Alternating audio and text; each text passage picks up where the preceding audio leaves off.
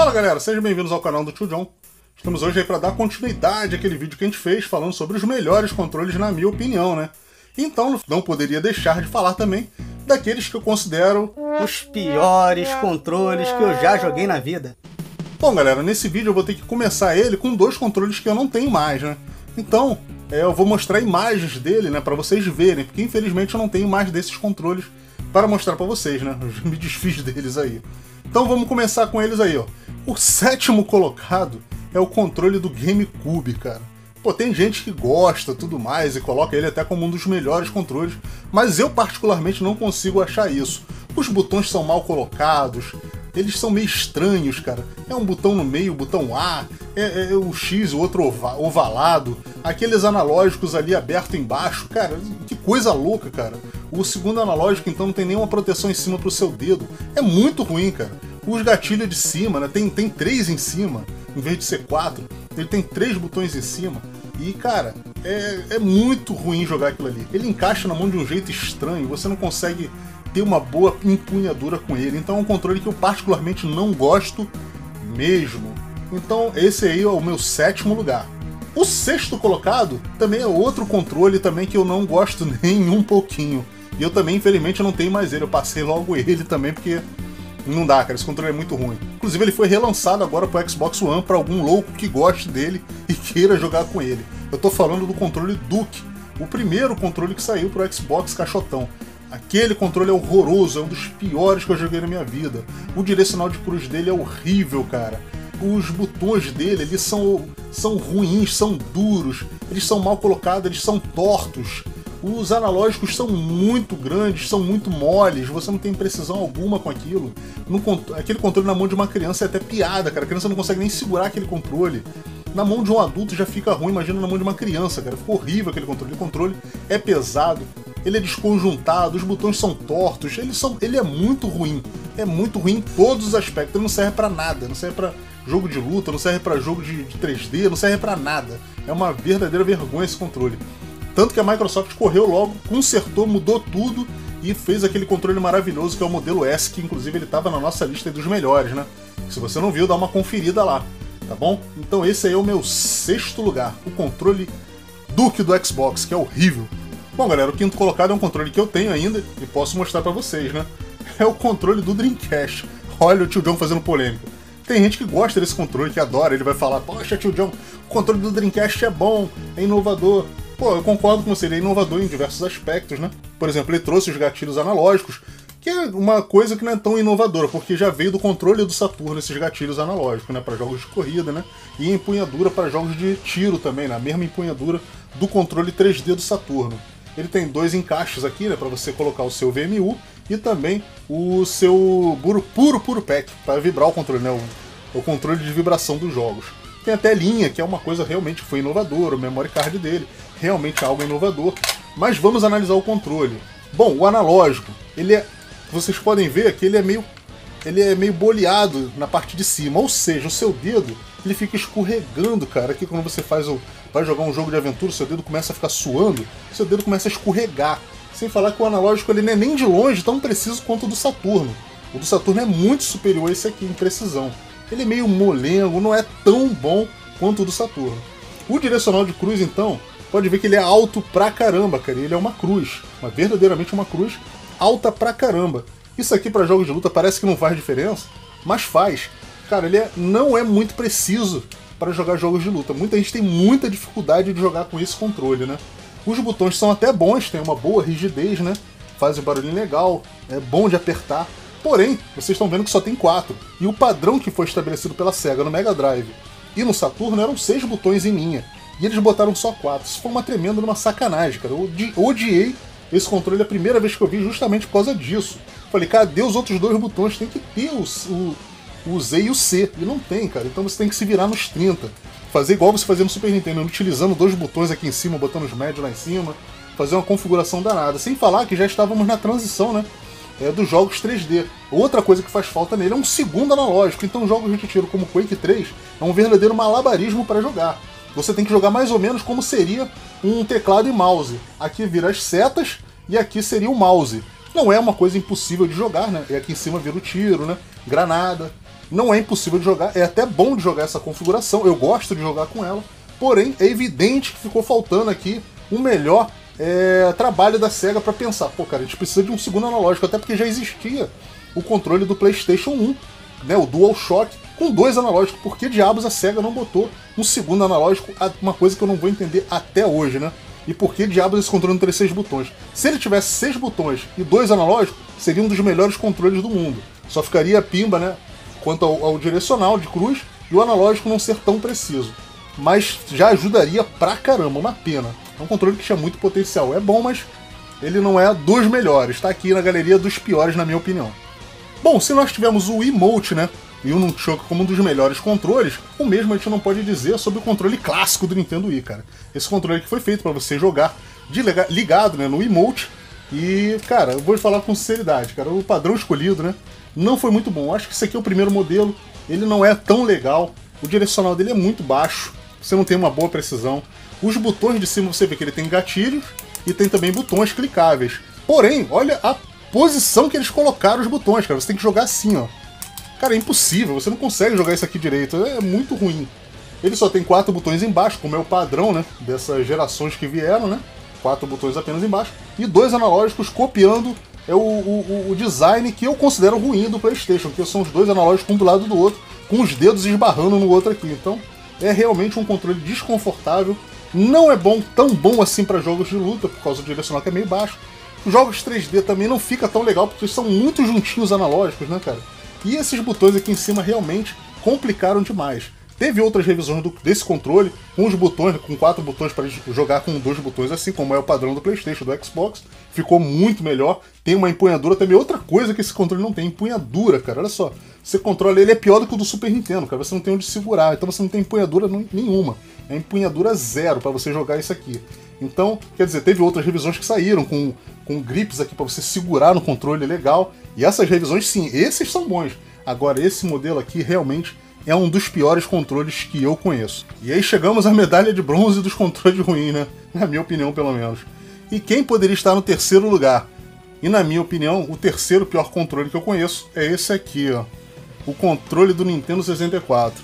É que tem gente que vai reclamar, é normal, né, cara? Mas eu, como eu falei nesses dois vídeos, é minha opinião, cara. É minha opinião, né? É essa. Cara, o direcional de cruz é duro. Esse controle aqui é original, cara. O direcional de cruz ele é muito duro. Você tem alguns jogos de luta no, no, no Nintendo 64 e esse direcional não ajuda em nada. Em Mortal Kombat é um sofrimento para você fazer alguma coisa aqui nesse direcional duro, parecido com o do Super Nintendo. Ele é muito baixo, você quase não sente ele apertando e é muito duro, muito duro, muito ruim. Aqui nós temos seis botões, opa, maravilha, seis botões, sendo que o A e B são destacados, eles são maiores do que os outros, né? Esse daqui seria para fazer os movimentos de câmera nos jogos, seria como se fosse um projeto de um segundo analógico aqui. Mas em jogos de luta ele pode ser usado como é, os seis botões, como em Mortal Kombat, né? Então você tem aqui até uma opção para jogar, né? No Killer Instinct e no Mortal Kombat. Porém, por esses dois botões aqui maiores é, serem destacados demais, você acaba na hora da jogatina, o seu dedo não consegue reconhecer legal onde está legal. Então, só com muito treino, com muito acostumando muito, para você não se confundir. Sem falar que os botões são muito baixinhos, então você quase não sente. A mesma coisa são os LR também são muito baixinhos, né? Eu não gostei tanto deles também por causa disso. Outra coisa é o design que eles optaram para o controle, para o direcional analógico também. Você vê, você tem uma empunhadura por direcional de cruz e outra por analógico. Cara, como é que joga isso? Eu estou pensando até hoje qual o jeito correto de jogar o jogo de Nintendo 64. Deve ser assim, ó. Porque você tem aqui o, o botão de trás, né, para você apertar, o analógico e aqui, e os botões você deve apertar com, com a boca, não é possível. Que design foi esse? Quem é que fez esse design, cara? Quer dizer, você é obrigado a jogar ou assim e de repente assim. O problema é que tem jogos que usam os dois ao mesmo tempo, então você tem que ficar assim trocando. E essa empunhadura atrapalha na hora da ação você trocar assim, ó, ir para um lado e para outro. É muito ruim, cara, muito ruim. O design é ruim, o controle ele tem até uma boa pegada, porém esse, esse analógico deveria estar aqui, né? Porque aí você tenta fazer como eu tento fazer, jogando assim e assim, com essa empunhadura aqui, ó, o dedo tem que ficar esticado. Não é tão legal, né? Você tem que jogar, até porque se você jogar aqui você perde o botão, você tem que jogar assim, ó, com o dedo esticado, e não é tão legal, né? Mas é um controle, tipo assim, muita gente gosta, muita gente acostumou com ele. Eu particularmente não gosto. O direcional de cruz é muito ruim. O analógico estraga com uma facilidade enorme. O meu, como vocês estão vendo ali, ó, ainda tá durinho, tá bonzinho. Mas ele, é, ele, ele risca ele faz barulho, ele é duro, ele não tem precisão. Ele não é um analógico preciso, como de outros consoles, né? É um analógico muito ruim, muito vagabundo mesmo esse analógico aqui. Não gostei mesmo dele, é muito ruim mesmo. Mas é um controle que muita gente gosta, muita gente conheceu, né? E tá aqui no meu terceiro lugar dos piores controles que eu conheço. Bom, a medalha de prata dos piores controles vai para um controle, né? Que, cara, no último vídeo, ele. Esse console, ele foi eleito, para mim, né, por mim, o melhor controle de todos os tempos. E agora nessa lista ele tirou, quase tirou o primeiro lugar, quase, ele só não tirou porque o primeiro lugar não tinha como. Não tinha como vencer ele. O segundo lugar é esse controle do Saturno, é o primeiro modelo do controle do Saturno. Você conhece ele? Esse controle é horroroso, é horroroso. Assim como o primeiro modelo do Xbox, esse controle é tudo de ruim. Ele tem uma empunhadura estranha, o controle é meio oval, como vocês estão vendo em cima, né? Ele é meio estranho, o direcional de cruz dele é muito ruim, é, é o extremo do horrível. Você não consegue fazer absolutamente, você não consegue fazer um Hadouken nesse controle aqui. É muito ruim. Sem falar que você bota pro lado, o controle, o boneco pula, você vai botar pro lado, o boneco abaixa. É muito ruim, parece que ele é meio torto. Então parece que não funciona muito bem. Tem seis botões, né? O que é bom, porém os botões são meio duros, né? Ele segue o padrão do Mega Drive, porém de uma forma muito pior. Temos aqui os LRs, eles são muito baixinhos, você quase não sente eles clicando aqui. É o controle é leve, ele tem isso de bom. Porém, cara, a pegada dele, a empunhadura dele é ruim. É, o direcional de cruz é muito ruim. Os botões são meio duros e os LR são. Cara, quase você não consegue atingir eles, porque são muito baixinhos. Você no meio da jogatina aqui, ó, você erra às vezes, você aperta aqui, você aperta aqui, porque tu nem sente. Porque eles são rente ao, ao, ao plástico aqui do controle. Então você fatalmente vai acabar errando, apertar errado aqui, onde deve apertar. Então realmente é um controle que eu não gosto, né? É um controle que particularmente eu não gosto. Ainda bem que o Saturno teve outras duas revisões, que é o controle né, que veio o seguinte, depois dele, né? Aquele controle muito melhor, né? Com direcional muito bom. E depois o 3D que eu considero o melhor controle do mundo. Mas esse aqui realmente é ruim demais. Bom, galera, o primeiro lugar foi difícil. Mas, cara, não teve jeito. Teve que ser ele mesmo, cara. Bom, eu tô falando para vocês do controle do Master System, cara. Esse controle não tem que salvar nele, não tem, nada salva nele. Ele é um controlinho retangular, como vocês estão vendo, ele não tem empunhadura alguma, a empunhadura é absolutamente zero. Você encaixa ele na mão de algum jeito estranho aqui e tenta fazer uma empunhadura com os dedos aqui para poder equilibrar ele na mão. E é muito ruim, porque aos poucos vai saindo o dedo da posição você não consegue apertar mais nada. Ele tem dois botões, dois botões eu vou dizer que até são gostosinhos de apertar. Porém, eles são muito altos, eles são mais altos do que deveriam. Então isso parece que não, mas em jogos de precisão como Ninja Gaiden e outros mais, você sente que esse atraso né, que vai ser causado pelo tamanho do botão, o tempo que você vai demorar para apertar ele até o final, é, incomoda e atrapalha. Até na hora da correria, assim, tudo mais, você vai ver que isso atrapalha. Então ele tinha que ser um pouquinho mais baixo, ele tinha que ser um pouquinho mais preciso. Você também, para apertar até o final, ele praticamente tem que entrar ali no case do controle. Não sei se vocês vão conseguir ver, ó. Mas ele tem que praticamente entrar para poder fazer o acionamento ali, ó. Ele tem que praticamente entrar no plástico. Isso é muito ruim, cara. Ele não deveria ser isso. Ele deveria ser um pouquinho mais alto, deveria ser só um pouquinho assim para poder pegar legal a, a estrutura, né? E outra coisa que é o pior dele, e é reconhecidamente uma das piores coisas dele, é o direcional de cruz dele, que na verdade não é uma cruz, é um quadrado né, com oito direções. Complicado, cara. É, é, complicado falar desse controle, cara. É um controle que tem uma nostalgia. Muita gente conheceu os videogames jogando no controle do Master System, mas a grande verdade é que a maioria preferia jogar isso aqui fora e pegar um controle de Mega Drive e espetar no Master System. Essa que é a verdade, né? A maioria de nós ignorava completamente esse controle e jogava com o controle de Mega Drive, porque o Master System ele aceita o controle de Mega Drive. Claro, só reconhecendo, né? Ele não vai reconhecer o C e nem o Start, só vai reconhecer o A e B, né? Que vão ser esses os controles, né? os botões 1 e 2. Bom, é, a maioria fazia isso, né? Porque esse controle realmente é muito ruim, cara. Para qualquer coisa que você tentar. É muito ruim mesmo. Você bota pro lado, o boneco vai para cima ou vai para baixo. Então você bota para cima, não vai. Sem falar que ele tem é, é, esses risquinhos aqui em volta do botão. Eles machucam o dedo. Eles machucam com o tempo você jogando, porque ele é duro. Esse direcional é duro demais. Ele é muito mais duro que o do Super Nintendo, só para ter uma ideia. Então seu dedo começa a ficar marcado, começa a ficar machucando por causa disso aqui. Então, cara, o controle é impreciso, ele machuca seu dedo, ele te tem um, um, um, formato quadrado que atrapalha demais. Cara, é muito ruim. Talvez a única coisa boa dele seja o tamanho do fio. O fio é grande, o fio é bem grande. Mas tirando isso, cara, é um controle que realmente falhou em praticamente tudo que tentou. Ainda bem que o Master System aceita o controle de Mega Drive, porque se a gente tivesse que jogar com isso aqui sempre, ia ser um problema sério. Bom, galera, é isso aí. Era só a minha opinião. Espero que vocês tenham gostado. Se você gostou, deixa o like. Se não tá inscrito, se inscreva no canal também.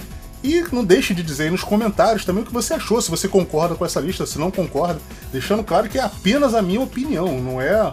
Eu não tô taxando é, que é isso ou aquilo, não. É a minha opinião, é só a minha opinião, como de qualquer outra pessoa. E claro, você tem as suas opiniões e deixa aí nos comentários pra gente saber quais os piores controles que vocês já jogaram na sua opinião, na opinião de vocês, tá ok? Galera, agradeço quem assistiu até aqui, um grande abraço e até o próximo vídeo. Tchau, tchau.